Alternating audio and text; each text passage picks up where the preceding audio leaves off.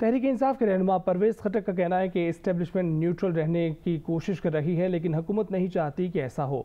हुकूमत ने एपीसी में शिरकत की दावत देनी है तो लिख कर दे। फ़ोन पर दावत देना कोई तरीका नहीं। जमान पाक लाहौर में मीडिया से गुफ्तु करते हुए परवेज खटक का कहना था कि हुकूमत इलेक्शन की तारीख पर बात करे तो उसके साथ बैठने को तैयार है, लेकिन हुकूमत संजीदा नहीं है। उन्होंने कहा कि पीटीआई हुकूमत ने उनको जेल में नहीं डाला था। ये अपने करतूतों की वजह से जेल गए थे। उनका कहना था कि के पी के में फॉरेंसिक लेबॉर्ट्री मौजूद है।